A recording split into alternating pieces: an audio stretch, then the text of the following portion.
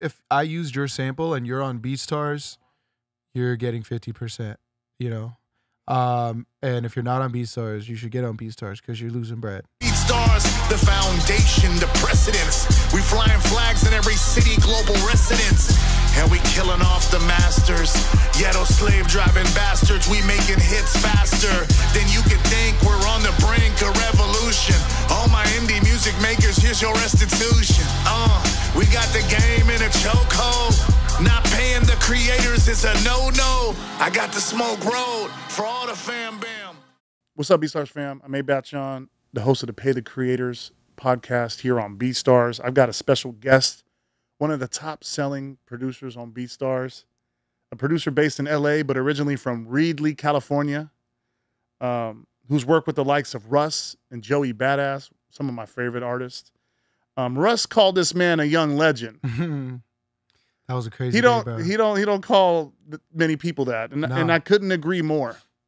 Um, this guy's been making moves in and out of sessions, industry, online, doing it all. My guy, PilotKid, welcome to Pay the bro. How you doing, brother? Oh, I got the reach a little bit. Yeah, man. Well, thanks. doing. I appreciate you. Uh, appreciate you being on the podcast, man. I had to come out to you. You know, LA. I, yeah, Yeah, you always on the move, man. I appreciate you. not really, me. actually. I, I be staying at the house. Really? just working. Yeah. I feel like every time I, I talk to you, like, wouldn't you? I usually come out and see you here. Yeah. Yeah. Okay, maybe that's what it is then.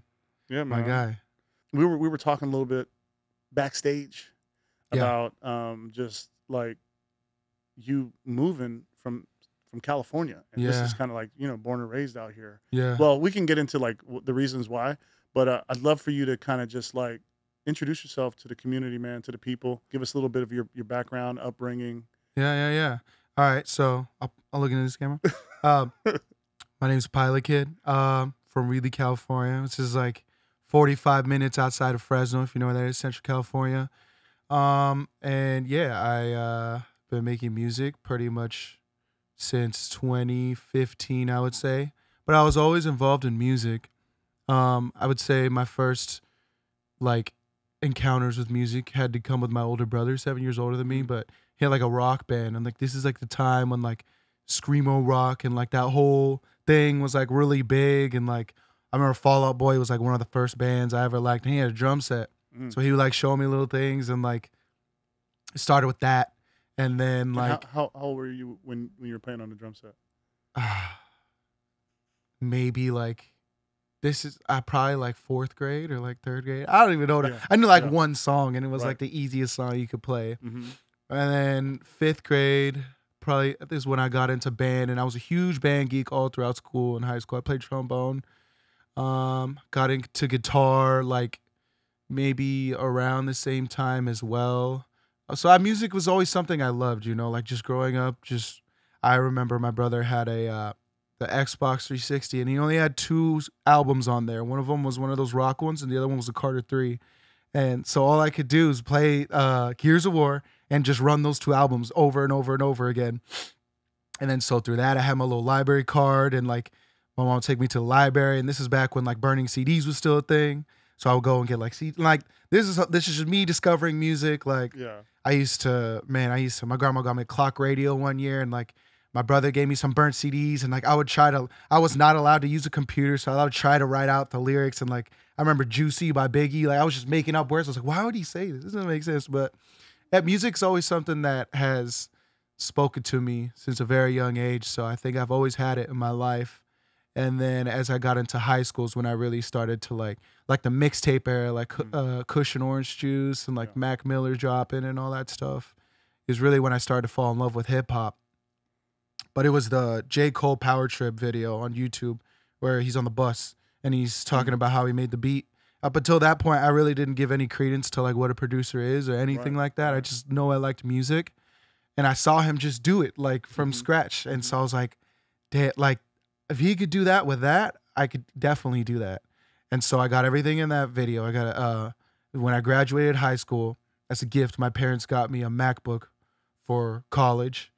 I got Logic because I was in the video, both of those things, and the same MIDI keyboard he had, and then it just started there. And so that's why I started making beats, and uh, Damn. Yeah. So J Cole gave you the whole producer kit in that It video. really, it really was that. I know it's not just me. I'm sure there's other people that are watching be like, "Yeah, that was me too." Like, you know what I'm saying? So, Oh. yeah, it was. Re- that's really. I'm sure. He, I'm sure he didn't even like really consciously think about like that he was doing that for No. young people, like showing people on the production side. And you know what's crazy is like a lot of a lot of artists um, never really showed that side of them when they when they did production. You know, a lot of them would do production, but they wouldn't like show that side of Yeah. them. And he was kind of like proud to do it. Yeah. You know, um, like one of the most like craziest stories, right? Was like was it last year when when J Cole hit up Batman um, on BeatStars? Bro, so right? crazy. I saw it the other day. It's like it's sitting at like seven million, I think, right now, or eight million. Because that's still the only place you could listen to it, unless you like. grabbed the beat from him and told him to just drop it himself On on, his Batman's YouTube channel on Bro a, produ- on a life. tight beat producer channel. And he was already making J Cole beats, so like it's like now you got the stamp. Oh, bro, it's like it's Wow. a wrap. You know what I'm saying? So Yo, and- shout out to Batman, bro. yeah, shout out to Batman, but, but shout, shout out to J Cole. He did not have Yeah. to do any of that. Yeah. like, to just give an indie producer like a song, like Mhm. here, drop this, go ahead, like you Yeah. can have this. Yeah, I mean he Who the fuck does that, bro? Like that's crazy, but you got to respect it. Yeah, he seems like just one of those guys that just knows what it's like. I feel like I've been a J. Cole Mm. fan since like the warm up. So like just He's a music nerd. see he's all that nerd, stuff and yeah. see hear everything like that. I think a lot of people that are like in that mode that love J. Cole definitely see that. Yo, J Cole, like that. we got to get some of your beats on on B Stars, bro. Like you Definitely. got you got we got a lot be of J Cole type beats on the platform. he made a uh, self care. I mean, yeah, self care by Mac. He's he's done, like, but like I feel like the stuff he Yeah. produces, he just doesn't talk about. It's like Right. secret Yeah. lore. You got to go Yeah. find out. It's kind of like he puts on a producer hat when he wants to and Yeah. just pretends like he's a producer. I think and that's then- the most fire Then, thing ever, bro. and then puts on the artist hat whenever he feels like. Tyler does that. King Krule, Right. a lot of people. right. That's dope. Yeah, I, I love I love when you work with an artist and they have a respect for like your craft. You know Mhm. what I mean? Yeah. And but a lot of a lot of artists when they first kind of like because out of necessity sometimes from affordability too. Like back in the day, artists used to have to figure out how to produce themselves because Yeah. like man, like buying a That's beat. me. That's my story. I started off as an artist. Yeah. I was only started off producing for myself, and I think a big part of why I, no, I don't want to say figured out YouTube, but like for you for a few years, I was there was a point in time when I was producing for like a couple years and trying to do everything myself, and I would go on YouTube and see all these beats that are way better than myself, and so the, back then, like I would go on BeatStars, like people I'm homies with now, I'd be like, I rapped over your beats and I bought those beats and like right. so I know like that whole game and what it what it like from an artist perspective, what I was looking for Mm. when I would click on the next video. Like so I think that definitely helped me getting into the whole YouTube BeatStars Mm. thing. You know, because I, I definitely started off just being an artist and producing solely for myself. Right. Even when I put my first beats on YouTube, it was beats from my album that I was Mm. producing for myself. Right. Right. And uh That's dope. yeah, I mean, it just it took on my my album. It's like up up to this point, I'm getting like max. I think most I ever got was a thousand plays on SoundCloud, and even then, I was like, damn, like that was such a big milestone for me, a Right, thousand right. plays, and then I've I've I've always said, and I've always talked to producers because I'm an artist. I, I write songs, right? Yeah.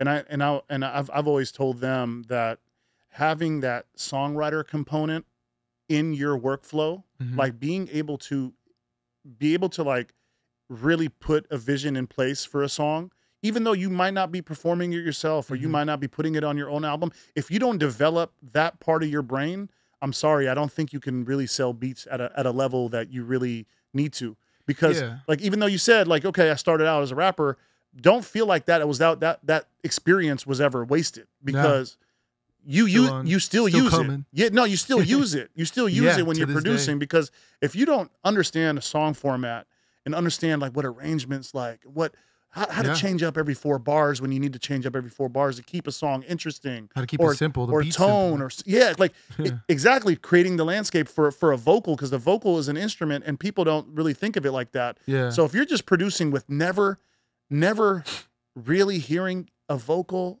on your track like i'm sorry i don't think you can make it I think that's like such a it's not gonna work That's such an important thing because I feel like there is, I, I I run into like beats that I hear online that like sometimes I feel like people are confused. Like this sounds like it could be on any this this and that or whatever. Like the like it's up to par with like a beat from this album or this album whatever. But like there's just something to be said about all my top selling beats. You hear it and it's like It almost pulls something out of you. Like that's like the Mm. that I feel like that's one of the biggest things I try to go for is like if is this like pulling something out of me, you know? Because it's like Mm. That. I, I think there's something to be said. Like as a producer, there's only so much you can do. Like to that's another thing about YouTube is like you, you you you you have to sell yourself off of a beat with no vocals on it Right. to somebody right, else, and so it's like how How are you gonna pull them? yeah, it's like if you really, you just really, it's really about being honest about that and being like, Mm. does this like, you, if if I'm selling it to myself, it's not gonna translate because I already got to sell it to somebody else. You know what I mean? It's like right. Right. just being honest about that. You have like a very like similar story to a lot of successful producers on BeatStars. Mhm. Um, is that you you come from a really small town Mhm. where you said you didn't really have any examples of like music production other than watching a J Cole video or watching your brother, you know, m- make music with his band, right? Um, and so being exposed to like music production in general and from a small town, it's not really encouraged. It's not really something that's like available. just You doesn't know, exist. it just doesn't exist. yeah, And so sometimes I believe this is what I believe why so many dope producers come from these little small villages and towns all over the world Mhm. uh, on BeatStars and they crack it big is because they're really put in a position where they're um, back against the wall, kind of like out of necessity, like out of necessity, like for you was. to connect, for you to connect with with other people, it had to be digitally. It had to be yeah, you had to hack your way to kind of like you know my only choice. connect. Yeah, your My only choice, option. right? I literally did everything. You could, I sent spam insta- messages on Instagram. Like I like it's Yeah, funny. Like sometimes right. I'll have artists. I'll be like from like uh like 2019. I've sent yo I fuck with your beats or uh, I like your music this and Yeah. that or whatever. Like right, just, I, I've done everything like just from scratch, Right. zero, at all online, all digital. And so, but like that's I kind of feel bad do. for kids that grow up in cities like LA, New York. Like I kind of feel bad Yeah. for them yeah because they feel like their their entry point into the game is a little bit convoluted uh with too much industry. yeah It's convoluted with too much too much industry where they're being fed a narrative on how to succeed yeah on you know because that's just they're they're the talent pool in the local area. yeah And so I feel like people that grow up in big cities like LA and New York, I feel like they need to get out. They Mm. need to leave. They need to leave as soon as possible if you haven't made it yet because you need to you need to you need to tap into a whole different s- sense like brain sense in a way Mhm. like you know where you're not exercising the industry. You're not exercising, oh, I got to go to this club. I got to go to this studio. Or I got to go to meet with this songwriter. I got to be part of this. You know what I'm saying? Where you're kind of like conforming to everyone else but yourself. yeah You're not conforming to anyone but yourself. You know what I mean? yeah So that was, I think, a big advantage for you. agreed And then coming here already with that stability, that foundation, yeah where you're like, you're looking at everyone else like, you guys, you guys are doing this I all mean, wrong. I, I never knew about like the Yeah. the politics and the industry Right. Like things until I moved to LA. Up until that point, all the energy was that got me up to that place was this is so good. If somebody heard it, I know they would like this. Right.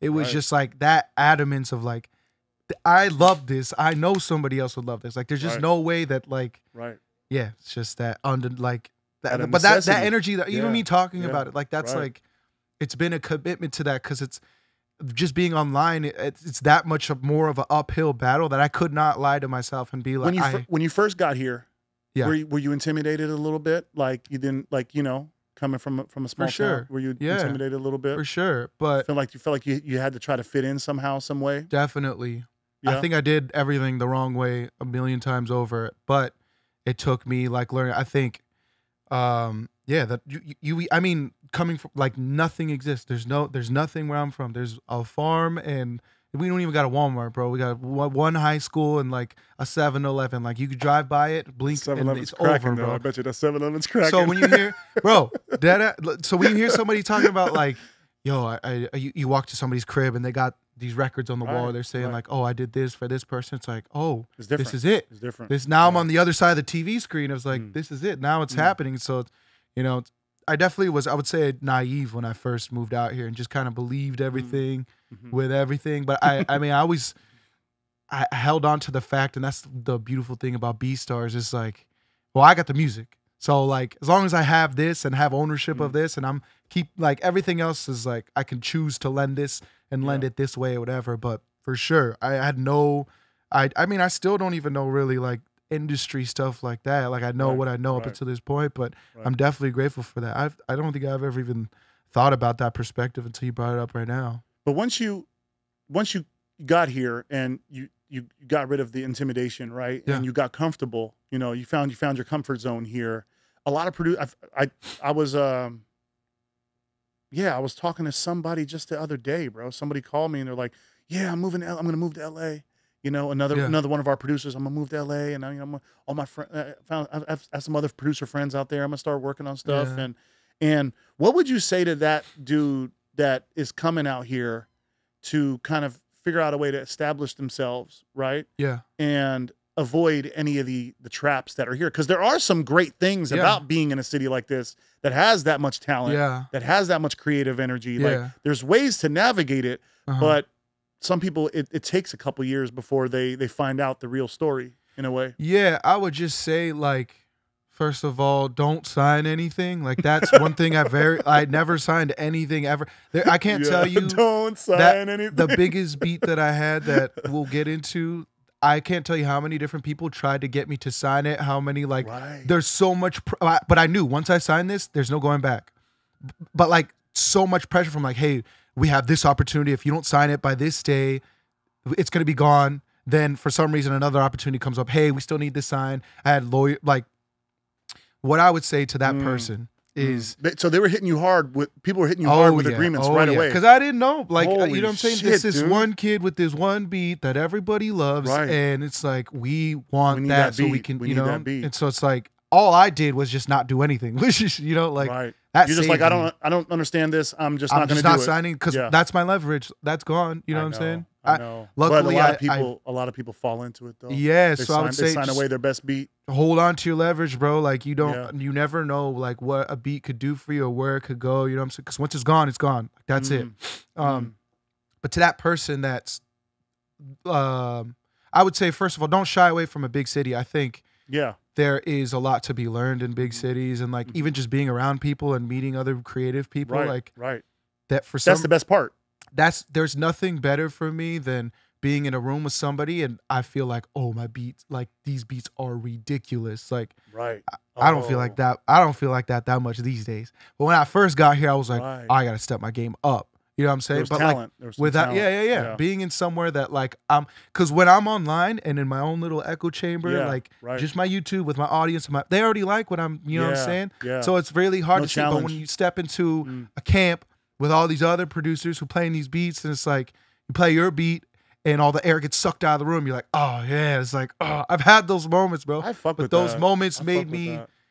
go harder you know what i'm saying i wouldn't have a fire if i didn't have those cringe moments of like oh dude i gotta go so much harder you know That's dope. so that's, I dope. think that's a big thing about what I had uh, for Like, moving out here. the But- uncomfort, the uncomfort of Yeah. like the humbling realization that your beats might not be that Yeah. good, bro. and that happens in big cities and where you come, Yeah, you know. But yeah. uh, yeah, I would just say, steps do not up. sign anything and be wary of anybody that has. I, I would say also say don't take anything personal because Mm. um, I definitely did that. Uh, like Oh, okay. in the beginning and like just like just coming from a small town i think people just are different in the way that they interact and like cordial in certain ways and like right. Right. I think out here you'll get a lot of people that will say one thing, and it's like nothing really exists if a better opportunity is there. Like everything else is Mm. scra- so. I would just say like, but don't take it personally because at the end of the day, everybody's here to do what's best for them. You know, Right. so just like that's for sure. just understand that and just like Right. Right. you know. But like, there's also like so many great people I've met. So, so many great people. Like the the horror stories I have are just like few and far between. Uh, they but- do but- exist. but you needed them though. They, yeah, but I needed them exactly. Yeah, but you Yeah. needed those. A lot of producers would would come into a situation like you said where they had a humbling realization where their beats were not as good Yeah. as they thought it was, and they probably pack up and go home, go back to their little town, yeah, you know. But you chose not to. You you kind of you chose to you know push through and step it up yourself. You Yeah. know, so I'm just curious, like being in a session like that where you're with a bunch of producers and you're like, okay, I, I need, really need to step myself up. How long did it take for you to after you've kind of elevated, fi- figured out, elevated your craft, to be like, okay, I'm ready for this next that session. night. I'll tell Oh, you exactly night. the exact day it happened. I was in a I was in a Bryson Tiller camp a couple years ago. His manager was in there. We all had like three or four beats to play. hmm I saw the reactions for the other beats. I saw the reactions for my beats. There were still like a few more days in the camp. Oh my, that feeling was just like, oh, there's my opportunity. It's just like walked out the door. That's what it felt. I don't know what this man was thinking. He probably didn't even don't care. know. Like, Yeah, you're that's how it. I felt. Usually, artists are not going to tell you anyway. Yeah, what, right. it probably wasn't that big of a deal. Right. But I went home. I was making. I I knew where the bar was at. I was up till like maybe five, six in the morning. right. Came back the next day. I played him for our A and R guy who was like moving things around the camp. And he was like, "When'd you make this?" I was like, "Last." I was. I said this morning, and he was like, "I could tell." Like he was like, and that and that. You know, Oh, I don't know whatever happened. I came, day. yes. The next day. Well, what am I gonna? You know, it made me better, and like that, the bar, the was raised. right. And it's Right. like at the end of the day, this is an industry, and you're competing to be, for me at least, to push music forward. And to, if you're not like, you got to look at the greater music industry as competition. Like you're in the league. Like I'm here to compete. I'm here yeah. to like speak through my sound. And if I'm Right. not anything that is extraordinary, why is anybody going to take their time to listen? But to what's it? dope about I think what the BeatStars platform has done uh, for I feel like for the music industry because you know like collaboration splits and all that stuff that Yeah. stuff never existed until BeatStars Yeah. did it right Yeah. when we took away the the awkwardness of the funny money kind of situation where Mhm. you can just easily collab and split money Mhm. and not have to worry about like feelings and like oh yo this person owes me a hundred dollars for this track or Mhm. that it opened up the doors for where you're still competing for yourself but you're like you know what i can compete with other people together with me now like i can i can like voltron like i can yeah. connect with other other people the- and and it's and it's like it's competition but you're kind of like all on the same A hundred path in a way For you a know what long I mean? for a long time, You know? Stoic was like Mm. he was making the same type of beats as me, and he was like oh shit a- he was like six months ahead of me in career trajectory, Ooh, and that was always okay, like my okay. op. I was like, I got to get this guy. Like, oh, you dropped a beat, nah, I'm gonna come, come harder. Like, whatever, whatever. And then one day I was just like, why don't I just reach out to this man? And now we're like best friends. Like, did you reach been out you were you were the one who initiated Yeah, yeah, yeah. yeah Turns out he knew who. I, but I'm saying like to go off of your point. i love that that was I that that's a perfect example of another. BeatStars person that I met from doing the same thing. But like he's dope it was the competitive thing, but then when I switched it to let's you know now we're man that's you so know, sick and there's so many stories like that. because you know what in the industry that would have been a negative situation you hmm. know like if it was just an industry situation you know where there was no online um, ability to br- break bread Mm. together Mhm. do things together like you know what i'm saying? Like it Mhm. would have been just like every time you see him it's, it's he's a op. Yeah. You know? Yeah yeah. And there wouldn't have been any room for because yeah, because no one was trying to share publishing back in the day. Yeah. No one was trying to like you know you know like there was Mhm. never like no no this is my connect. So uh, you don't need publishing on this one. You, i'm putting you on yeah that's how it was back in the day bro still like that now. no i know but i'm saying like you know like it, not as much as it used to be Yeah, probably yeah. right you guys can demand a lot more now yeah and no matter how the collab that's happened true. no matter how the collab happened you can still demand your ownership still demand things back in the day it didn't happen Yeah. if another if a bigger producer puts you on back in the day bro huh you might not even be in the credits dog exactly you you might have produced the whole thing. You might have produced the whole thing, and and and and, and that dude takes full credit for producing it. That's how it used to be. I've had offers like that. For That's how it used to be. Bigger producer be like, yo, be pretty, be the ghost producer for this. Yeah, No, I'm not doing that. right. But that's how it used to be. yeah. So the so the blessing of you being able to like, you know what, dude, man, I can't keep competing with this guy Yeah. in the same in the same like universe of beats. Let me just let me just like yeah. connect with him, dude. Yeah. And it's turned and it so you said it like it's, it's turned into a great great We're I mean, like the closest homies. I'm moving. That's he's like one of the main reasons that I'm moving to New York is like because wow. from there and like through meeting him and I got to see the city and fall in love with the city and everything like that. So yeah, like lifetime. I get all of my closest homies right now. Like I think about it right now, they all came from BeatStars. They all came from. Uh, we do the same thing. Uh, none of us are from the same area. I got a homie from Florida. Got homies from Toronto. Homie from New York, Baltimore. None of us, but somehow we Chicago. We all find time to just and it's like you know like we're like lifelong friends but yeah shout out to the internet Hell yeah. Do you still do you still put up a lot of collabs on your on your platform when you when you drop beats? Yeah. Okay. so you're yeah. so you're still actively like collabing with producers. yeah if you, if you if i used your sample and you're on beatstars Uh huh. you're getting 50% you know Amazing. Amazing. um and if you're not on beatstars you should get on beatstars because you're losing bread you know? right. so that's always how i've like to approach things with like i know some people are weird about Yeah, percentages and like yeah. i got a i got a big youtube so you only get 15 like Right. whatever dude like you know You're all just helping each other, really, man. At the end of the day, you're just, you know, the the artists don't care. Like we don't care. Yeah. Like when we're browsing through beats, you know what I'm saying? yeah, like, yeah, yeah, like. I don't care how it got up there. Yeah. You know what I mean? If it if it if it touches my soul and if it fits like the thing that I'm trying to work on at that specific moment, I really don't care how you got the sample, who you collab with, Mhm. and if you don't have that consistency of being able to drop shit on your platform, Mhm. it may, may never get discovered. And sometimes you go, you know, like, you know, you need inspiration from other people, Yeah, like, you know, just to get over the hill. sometimes my collabs that are not on my YouTube have gone up on Stoic's channel or on Eerie Skies channel, Right. and like Damn. There's opportunities that would have not happened without collabs from other people.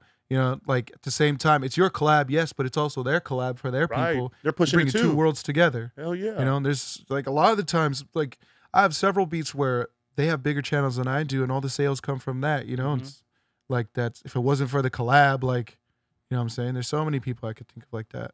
It's the truth. You're sharing audiences, and if you make similar music, that audience is gonna like your music. You guys are gonna swap audiences, so it's Mhm. like you you get more fans and you just more Yeah. variety for the artist to have. Um, yeah, you get to spread the workout too. I think of like yeah, sticking to a consistent Right. upload schedule. If you're collabing with people, that's like, oh, you get to I may I did this, but like you can finish up this beat. Now I can move on to other things, and I you know, it's kind of like a collaborative. you- Yes, Yeah. yes, bro. The most the most savvy business people understand that. Like Mhm. having diversity of products and having like, you know, having different SKUs in your Mhm. store, right? Like being able to provide um, a variety of like sounds and music Mhm. um, to a customer base that's the internet where millions of people are listening to your shit. You literally have millions of people listening to your stuff on YouTube and BeatStars, bro. Like, you know what I'm saying? How are you going to feed all of them what they Yeah. want?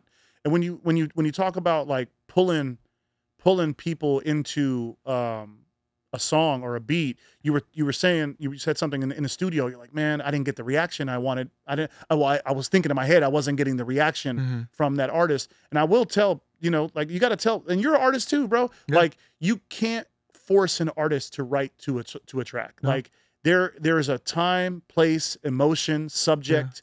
When an artist listens to a beat, they know when it's time to write. And it it doesn't mean your beat is bad. It doesn't Yeah. mean your track is terrible. It's just that moment in time, the inspiration that that's that that sparked at that moment may not be fit for that for that track. Exactly. So it's like, like you said, don't take it personal. I don't also take it think personal. if you have a strong enough sound, you Mm. can just create that instantly. Like alchemize that vibe. Like I wasn't even on this, but I heard it.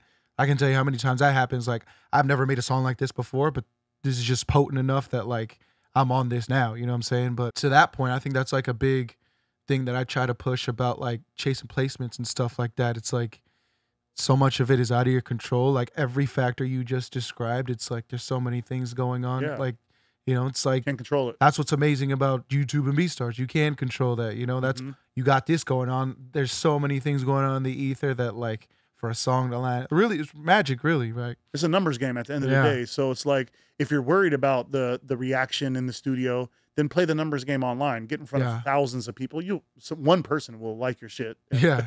buy it. You know yeah, what I yeah, mean? yeah. Yo, let's talk about your creative process a little bit. I'm just curious to like, how do you approach making a beat? Do you start because you said you play drums? Like, do you start with drums first? Do you do sample? Like, I actually just started doing drums like first because I never. I'm always a sample guy first because I have a. I tend to make more melodic things, so I have like that ear for melodic stuff. Me personally, I just that's what I like to create. Um, but really, it just. I mean, it, it just it's. ah, It's such a hard. Let me see. Let me think. A lot of the times, I'm thinking about what. Uh, it's just like going in there and getting in the flow and just whether that's a sample I hear or I, I like start with the drum. Like usually, if I have absolutely nothing, I'll start with some kind of drum pattern, some sort mm-hmm. of thing, and then I'll like maybe put samples over it or play something over it or something like that. It's really just getting in the flow of things. There are times when I'm inspired. I feel like if I were to drop examples of that, it's not really accurate because those are few and far in between where I'm actually like I'm inspired to make this. A lot of the times it's just going in there and trying to make something crazy and just tweaking it around and not knowing what I'm gonna make. A lot of the times is what helps me out a lot. I mm. think not. I think the only times I ever get beat block is if I'm like I need to make a pack for this artist and ah. this type of things because Right. then Pressure. the bar is I'm never gonna reach that. So Mhm. like it's like mm-hmm. I'll spend way too long and overthink everything. If I'm just ideally in like a let me just make something that I feel. Mhm. Whatever I'm feeling that day, whatever I, that's the easiest thing to tap into all the time is however I'm feeling inside and Yeah. I think I have like a good ability of being able to like I said as a producer, I don't have um words to say how I feel and express myself. This is art at the end of the day, so I do that with sound. And so that might be a certain chord progression or it might be a sample Mm. or it might be piano, it might be a genre, it might be all kinds of things, but it all, I think it all goes back to the way I'm feeling at that time. Yeah. Yeah. Who, who are some like um I guess some like musical inspirations for yourself like when you you know when you first I guess when you first started creating and, and, and maybe some now like who, Yeah. how do you how do you keep you know keep staying inspired to make music and and evolve you know I think so some of my favorites coming up was like Kanye, Mm-hmm. Tyler, uh, Tame Impala, Childish Gambino, uh, Drake.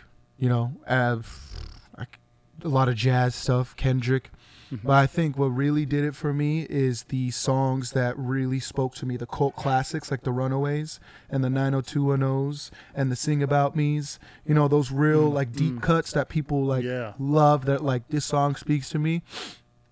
I think a lot of my inspiration comes from being able to make songs and beats like that. Like that's all my uh inspiration even for making music started with is like hearing songs that like just like you know when you hear Yeah. music that you just that just speaks to you like and more than any movie or Yeah. like person anything just like this is just hitting right now I that can, I, can- feeling I can hear a I can hear a lot of Kendrick Yeah. uh, influences on your stuff like I'm I'm surprised he hasn't like got on one of your tracks yet. surprised too i mean maybe maybe it's out there somewhere He sounds perfect on. He would sound like Ah, great. It's a rap I want to get into a couple happens. couple tracks that have like hit off off your off your store. yeah Um, one one of them is uh, Lucy. I'm gonna pull Yep. up. I'm gonna pull up a couple tracks, classic and and then this this one from this last you know last nine to ten months. Yeah. Salvation. yeah Um, these two tracks are really interesting to me, and completely different vibes by the way completely different vibes, different time periods, and I just kind of want to hear you like break down why this song, why this beat did what it did.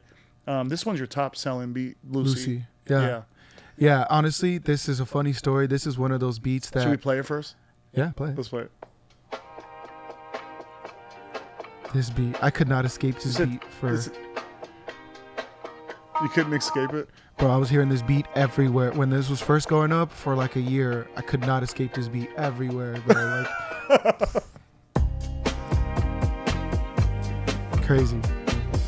What were the what were the type of songs people were making on this one that you, you've heard that? Like Tame Impala kind of stuff, Yeah. like real I mean, it just feels good, you know? Like it's just like dancing kind of like uh, it's interesting to hear how other people like to hear different versions of a song. Like it's so crazy, but uh Did you play this one? It seems like see this seems all original, no samples. This doesn't sound this like has some samples in it it. does, huh? Yeah, yeah. Like I I uh, added guitar, bass. It's like a lot of the weird. Thing. That's a sample. Like, Okay. it's some Ah, weird little. It's like like that. some Russian, uh, like library music from the '70s. Whoa. Like super super obscure. Interesting. I I don't even think it has a thousand plays on YouTube. I wouldn't think this would be your top selling beat. I'll be honest with neither. you. I, I definitely did not. I didn't think that either. Up until this point, I was making like Kanye beats and stuff like that. If you go to this beat And I on wonder YouTube, like what audience this hit. I don't know. The the pinned comment says, I don't know if you all are gonna like. I needed an upload. I was in Hawaii on vacation, Uh-huh. and like I was, my upload schedule was every other day, and I needed one. This was just one of those ones where I was like, I don't know, but whatever. I'm gonna just put it up there. If it flops, it flops. Didn't flop. went crazy. And there's not really like a defined chorus, really. Like, No, interesting, man. yeah.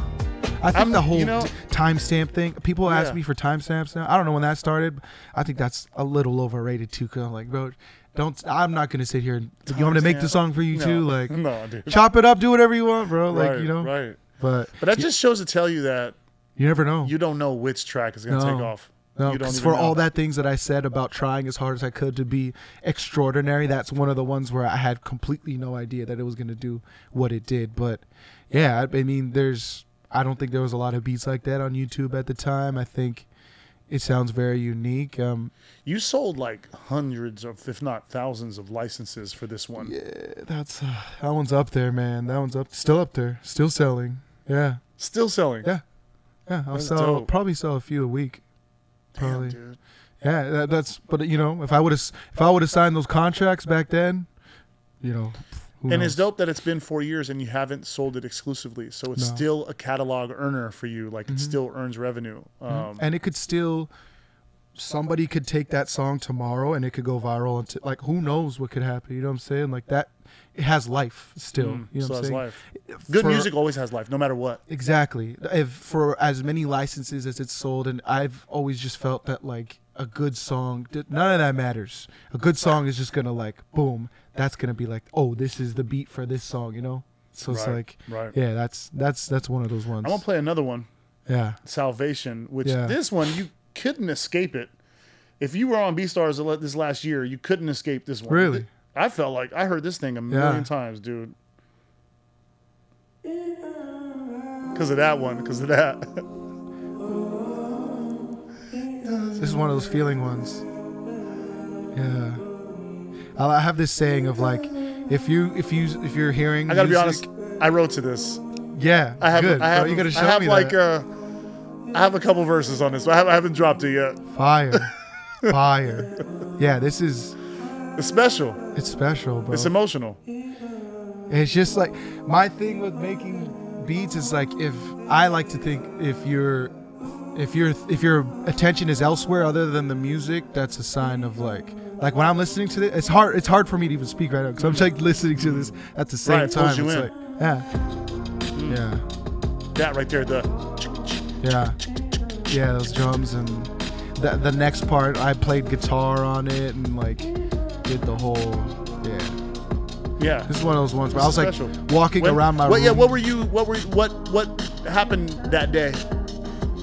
I think this is on the other side of me feeling what I was told you earlier of like just feeling like I was kind of like in a drier season creatively and just Yeah. like I was just looking for something I icon something special. Like that's all I'm ever looking for. But that time I really was just like it's undeniable. Like something just like really pulls you. Did you just hear that vocal sample Yeah. uh, some first, and I was Yeah. like, okay, I'm start with that. Yeah.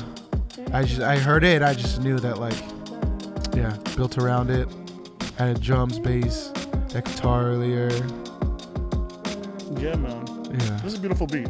Like Thanks, man. this is this is one of those like you know it's like pieces of music, man. Like you know it's it it captures a moment in time for people as an artist, Yeah. someone that's going through something. Like I, I wrote I wrote about I wrote about my kids in this one. Like you know what I'm saying? Just That's amazing. sometimes you know being distant from from my, Oh. my oldest just being separated from him not seeing him he's in college he's you know he's away and you know so it's like it yeah like it doesn't that matter. just pa- that you, you just know? gave me a perspective on that that I didn't have prior to you Mhm. saying that. So now I anytime I hear that now I'm gonna think of that be like, damn, there's also stories this longing and this like, Longing. all these different Yeah, emotions. Like, yup.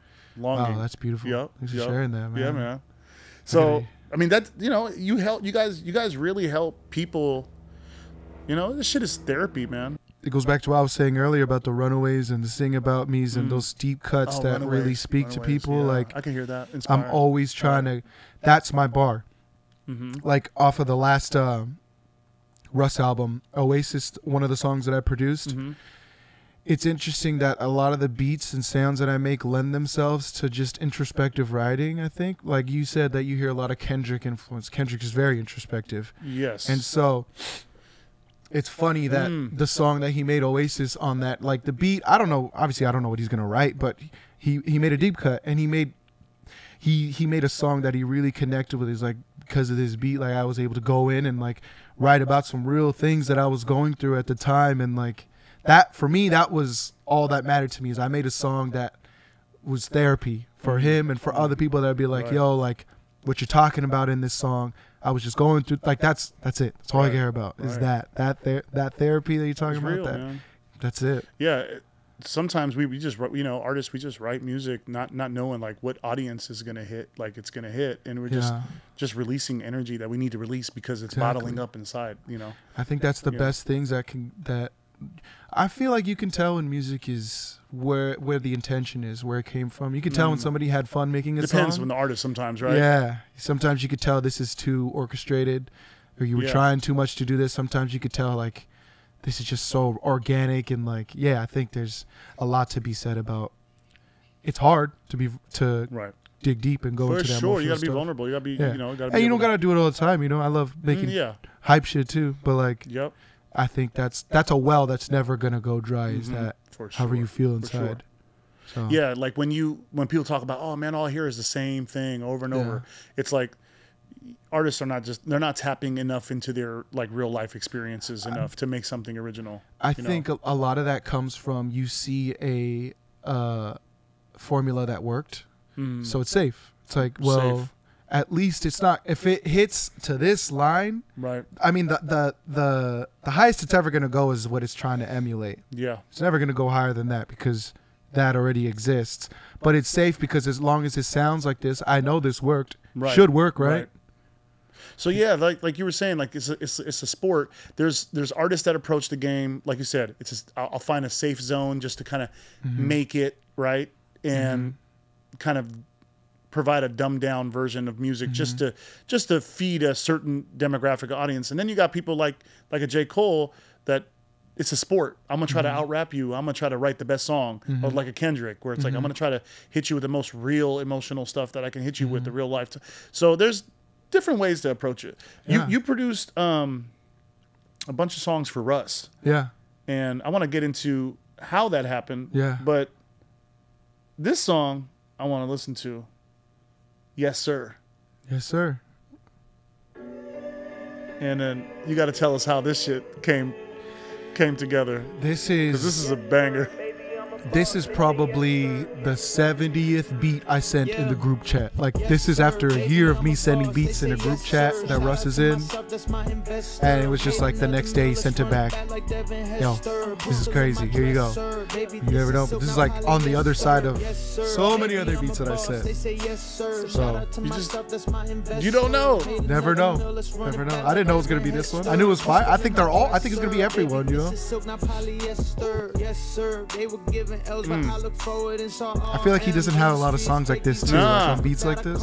Yeah, like just snap and just talk. Yeah. Shout out to Elkin. Made three million dollars in a month, yeah, that's a hat trick. Used to always chief inside my home, I felt like Patrick. He went off, dude. Swear I wasn't Yeah. joking when I said They did that video, uh. Paris Fashion Week. I feel like even Russ. I think a lot of people don't don't talk about this a lot. Um, I feel like he went through like an identity crisis a little bit Mm-hmm. when he first came in the game. He got a lot of fame real real fast early in the game, and I felt like he was trying to fit into the Atlanta industry. Like he was trying to be one, you know, Yeah. you know what I'm saying? And then and then I feel like the last two or three years he's really found his um his audience. He's really talking to his his his, Yeah. his, his he's like representing like you know independent music Yeah. and um collaborating with a lot of independent producers Yeah. and like vi- taking energy from you guys and being open to not trying to just fit in but create his own create his own like way of making music you know what i mean Yeah, he goes he goes into that um, entirely on the whole last album Santiago that we made, which Oh, is yeah. Yeah. exclusively made by producers from I'm pretty yeah, they're all on BeatStars. Odd Status is uh dang we met Russ. Well, I didn't meet um, the founders, Chase Bank, Prod Tide, Uh-huh. both BeatStars guys. So Chase used to live next door to Milan for like two years, bugging him over and over again. Milan, Russ's manager. Yo, yo, yo, we got beats, we got beats, we got beats, we got beats. Finally, this one day, Milan tells Russ. Russ is like, fly these kids out. We went for three days, played him beats. He was he was working on an album at the time. he's like he just told, he was like yeah I'm scrapping everything. We're gonna fly you guys back out. And we're gonna we're gonna make an album Damn, dude. That's just dope. like that. Everybody from all over, like nobody was from. We had people from. And Chase Bank was kind of like the connect, the, the Yeah. in- Yeah, original yeah, yeah. connector for all of it. yep. And, And so who, who who were some of the, who were all those producers? Do you remember all the names? so odd status. That trip All was status. me, myself, Lucas Quinn, Lucas Quinn, Broke Boy, Broke Boy. Chase Bank, Prod Tide, and Morrow. I think that's it. Was Dilly Dill- came in Dilly- after. Dilly. Um, am I Damn. missing anybody? Like internet internet all stars, man. Yeah. all, all, all, all beat, all BeatStars guys, you know. Amazing. But that's how that's how we met. That's how we created that collective. Was we were all like Okay. peers on you on a. And you guys all looked out for each other on that project, basically. yeah, yeah, yeah. It was Damn. just all of us, and What was that? What was that experience like? He flew you out. Where did you guys go to? we so we stayed in an Airbnb, uh, like a f- like thirty minutes from his crib, and every other night, cause well, it had to be every other night. So for like a month and a half, I was in Atlanta. I was in Atlanta. Okay. every other day we would go to his house sometimes like sessions would start at 11 p.m midnight he's he was a night owl at this time so we would go cook up or he would tell us what he was on that day Mm. and then he would record over beats he had from the from prior or whatever Uh huh. After like three or four hours we would just be at his house making beats like all over the house. He had instruments all kinds of things just there at his crib. Crazy. the other night play show and tell and then he would hear stuff. And then we had like the system going and there's all kinds of stories in between of ping pong matches and basketball stuff. Like there was a whole bonding that went on during Oh. that entire time. But yeah it was just uh He must have been intentional about that though, like to create that environment for you guys to be, you know, kind of like this brotherhood of producers yeah to just like get out of your comfort zone, get into this house, yeah and he and he had it he had it like formatted in a way Yeah. where there was there was a schedule. There was like there was this was not a game. Like Yeah. we're working on a big album for a big artist. he pushed us he he uh he told us you know i can't promise what this album will do but i can promise you that people will hear this people will hear your music and he, he was he, he he played us beat packs from all the major that was a big moment for me i'm not going to say who he played packs from but Uh-huh. that was a big moment in my career where he we we got to listen to some of these packs from uh, some of the biggest producers in the game, and I was like, "That's it, that's all it. That's all takes." got? That uh, ever since that day, I was Yeah. like, "Oh, this is it." Like, Yeah. we're we're here. You know what I'm saying? So he did that. he did a lot, bro. Like he.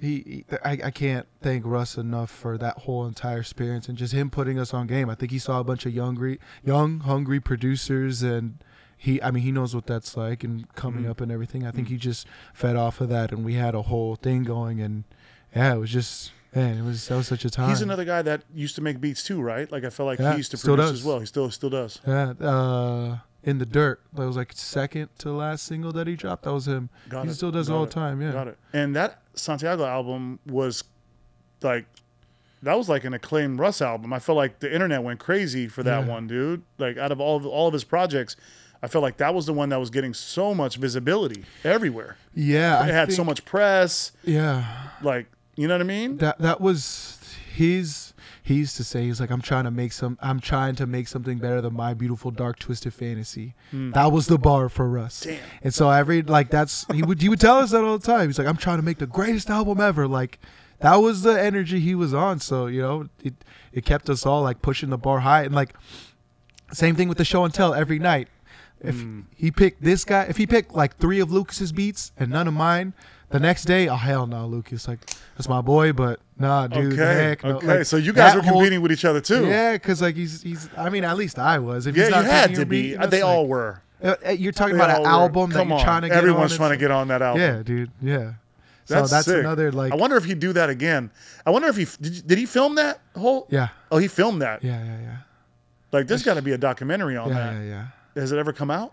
i hope so Damn, it hasn't come out yet. no no but we yeah Like, i don't know how much i could talk about that yeah, okay. That's okay. definitely- that has to come it out. exists yeah That exists. Yeah. that was filmed. yeah yeah Okay. everything the J whole- Cole did something similar to that, right? Didn't he do that one time where he just invited a bunch of producers to, uh, like a, a maybe week? for the dreamville sessions Oh yeah, the, yeah, that- yeah, yeah, that? for the collab album. oh yeah that video is crazy Yeah, that it's Yeah. like a 30 minute long. I love artists that do that, man. Just give Yeah. give people a shot. You know. Yeah. And then when you said that, oh man, I heard some of these like industry producers beats, and I'm like, man, all right, th- I got this. This is easy. You you know, perception is everything, bro. Yes. yes. And and I think people have like not I'm not hating on industry producers, man. No, no, Listen, no. I'm not hating on them. There's they're, they're talented. They're Mm-hmm.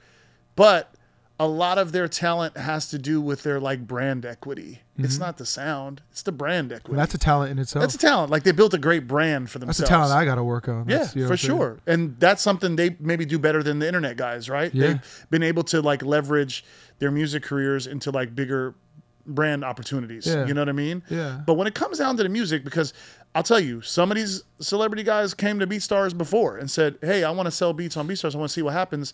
And, you know, I'll sell under an alias or I'll sell, you know, Mm-hmm. and they try to like out they, they try to price their beats really high because they want to leverage their brand name and Mm-hmm. stuff like that.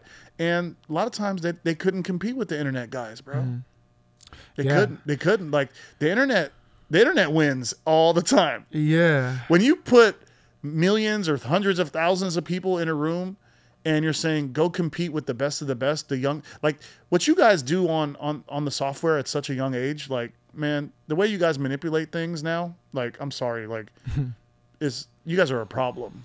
Yeah. Like you guys ain't going away. Yeah. And it's showing now. It's showing now from an industry perspective. Like you, you talk to Greg Mateo, right? I want to talk oh, about your relationship with him too. Yeah. But you, you know, you talk about like BeatStars Publishing and kind of like the the, the ev- every week these, the placements that are coming out, like the, the Yeah. stuff that you guys are producing, like. You guys are powering the whole fucking internet, bro. Like there's like some some weeks is like number ones in five different countries at the same time. I'm like, what the if, if there's an album out every single week, it's gonna be on the B BeatStars publishing post. That post is basically New Music Friday. Like every real. single thing is there. Every For single thing. And it's not, time. not to say that it came from the platform. It's just you guys are the the talent that's spreading your music in multiple different ways. Mm-hmm.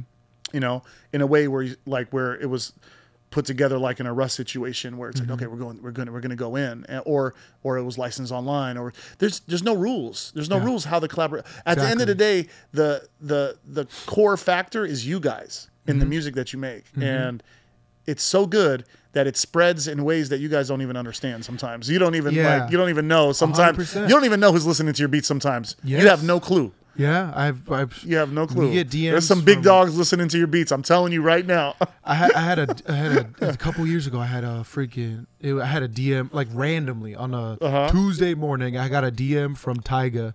Uh, it was just a YouTube link. This beat had been released. It hadn't even been released for a week. It had less than like five thousand views. Right.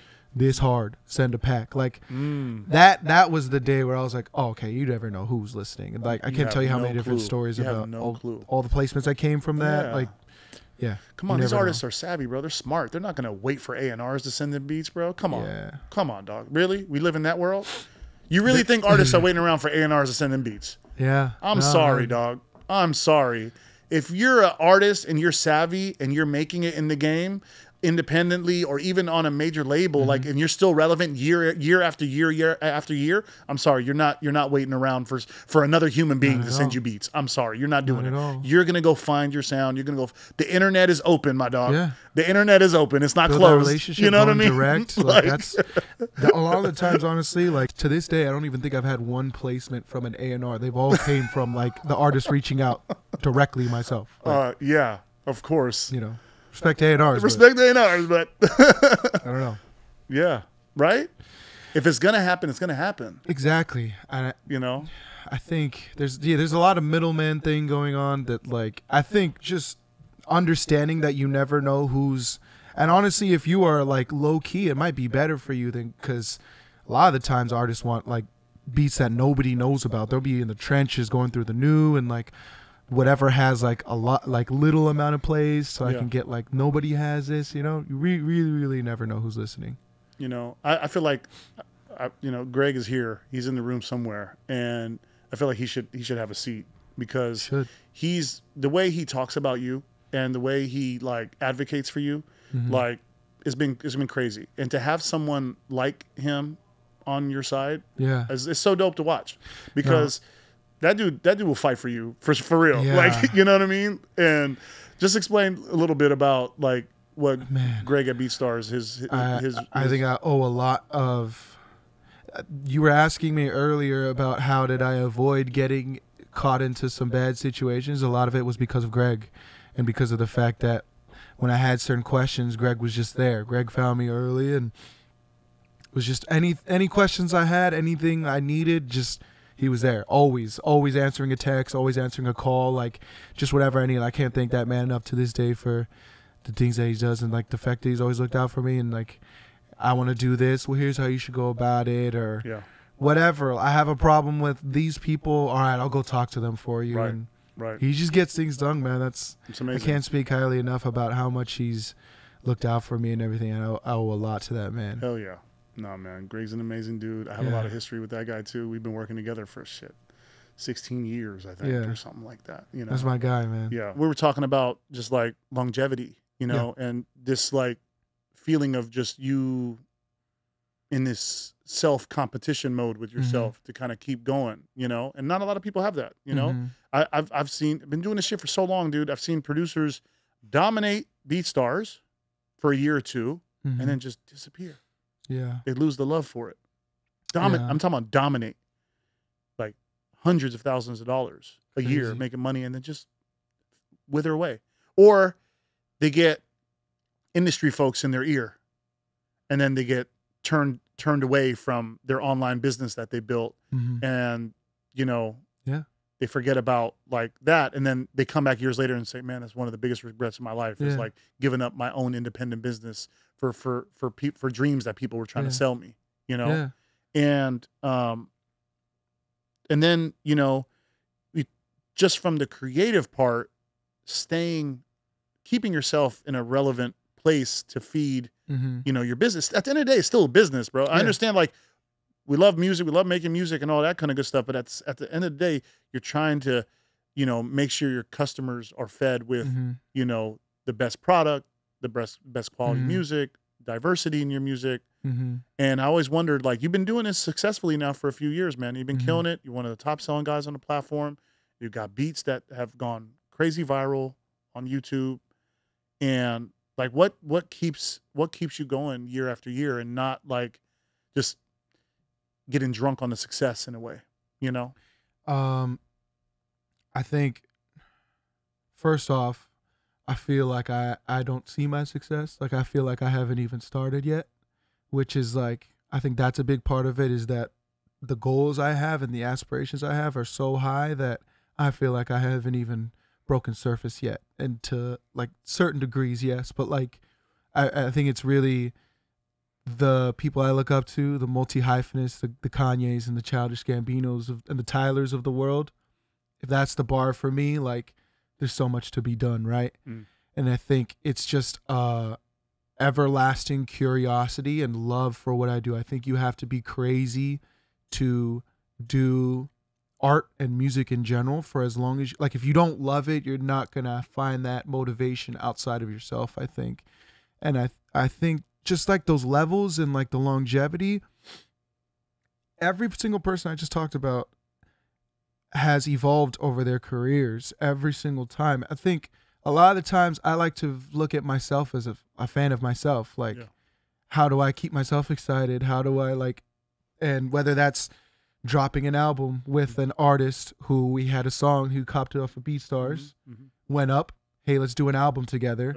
We did a whole thing. Now I, I have uh, reached 100,000 monthly listeners on Spotify Amazing, just dude. for making a collab. You know what I'm saying? Yeah. And so, That's a, by the way, that's an underrated like that's an underrated thing. yeah. you know like where producers are not really jumping in the ring from like an executive role or like a label role where Mhm. they can really like you know really help an artist that's coming up really give them their sound be a part of their career trajectory help them succeed and at the same time kind of be part of it on the business side too so it's like not a lot of producers take that leap and i'm, I'm really happy that you're you're doing that because it's, it's really important. It's important for those artists. They need resources. Yeah. they need help you know? Yeah, I think um, a big part of that was um, I founded a label officially this year, Godspeed Music, um, but it was in the works for a while, and the whole point of that was to create a place where people who are fans of my music could all flock to and Mm. like Mm. there be, became like whoever's a fan of my sound there's like this consistency with albums dropping over the like you can go to this place and there will be music from like-minded people that you know that because of the reputation I have built uh you know it's going to be good and so I think for me uh, constant evolution is such a big important thing for me especially because things move so fast on the internet i think it's so Mhm. important to just always be leveling up and always be moving. So i think a big part of it is i understand where i'm trying to go. And so for me to bridge the gap is just i can scale that down to what i have to do this month this day Yeah. you know? And so i think a big part of that's figuring out what do you want to do? Like there's so many parking spots you can have in the Right. industry and like different ways you can go. And I, I think if you figure out where you're going just bridge the gap. That's it. And so we didn't we didn't really talk about like a real this like it's a real life topic where you know every successful person have they have to make they have to create sacrifices Yeah. in their life. And and and you know a lot of times you know the people we love sometimes Yeah. get gets get sacrificed in A the lot. journey. Yeah. It's sad you know like even for me to be in the position that i'm in i've had to sacrifice a lot bro. Yeah. Like you know time with my kids family you know just being obsessed mm-hmm. about trying to build the greatest music company in the world like that's that's my obsession. Yeah. Like when you do it for 16 years you're like you said you're like i'm looking at this i'm creating the bar here i'm creating the bar here i'm creating all these goals and for every year for me it's when i jump on the court i'm i i i want to build the biggest global music platform that helps music independent music creators all around Yeah. the world. I'm and i and every day i wake up and i tell myself you, you haven't started yet yeah like you're not you're not so it even never close goes away then yeah, you're not close. Like you know, so I'll, I'll get messages in our team channels like, "Oh, we hit this accolade. We hit the." I, I don't care. yeah What's next? it's in the past now Yeah, you know what I mean. Yeah. And that's how I I kind of keep myself going. What was there any anything that you can point to in terms of like sacrifice that you've learned from in a way, where to to achieve your goals? or Anything that you regret about the sacrifices that you had to make to um, achieve this? i don't know if i would say i'm not a really huge believer in regret because Mhm. Yeah. that's where lessons come from. Yeah, But yeah. for sure, I would tell you when I was in college and trying to run BeatStars up from zero subscribers, zero followers, everything. My day was wake up at six in the morning, drive to college to school. There's a 45 minute drive. Listen to samples on the way. uh, Not make beats in class. I don't recommend this. Don't do that. But like, go to work, go to the gym. I wouldn't have time for music till nine at night. What for me the option is I'm either doing this or nobody else is going to do this for me. Like this doesn't exist if I'm not going after it. So I think eh, my I just wanted this so bad that like none I just didn't even see anything else and I think after a while you get to certain positions to where this is a huge thing I went through last year where I understood that like the level of sacrifices I was making and things I was doing at certain points may not serve the next chapter you got to go to. Like you may need to reformulate and do things in a different way because it might have worked this way to lock in for this many hours and like do this type of way, but now you okay, but there you hit a ceiling. Now you got to do it all over again and then do it all over again once you like it's that constant evolution of like hitting that benchmark and doing it all over again. Like for me, coming from that small town, all I ever wanted was to make music for a living and live in LA. Technically, I'm just playing with house money at this point. Like, Yeah, yeah. so when I got there, I was like, well, what do I do? That was a whole thing I had to go through. I was like, damn, like it, I, Right. it, it was almost me like I didn't even know this could like happen. Like, so like it happened, and I was like, Mhm. what's next? okay, what's next? And that was a Yeah. whole thing that I had to do. But like me, the day, the way I was living my days up until that point for the next had to change. Yeah. And so I think looking back on the sacrifices, I would say, what are you sacrificing and why? Because Mm. this is a huge thing for placements and like sessions and stuff like that. Like a lot of the times I wasn't making things I was happy with and I wasn't producing things for myself. So my days were becoming means to an end. So my life was becoming a means to an end.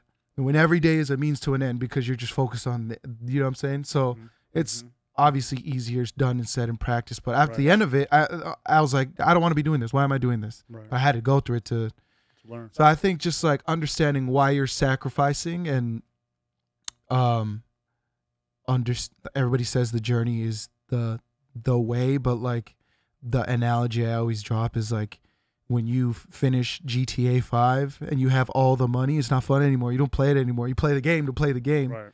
Right. So I think just it's it's hard to accept that, but just like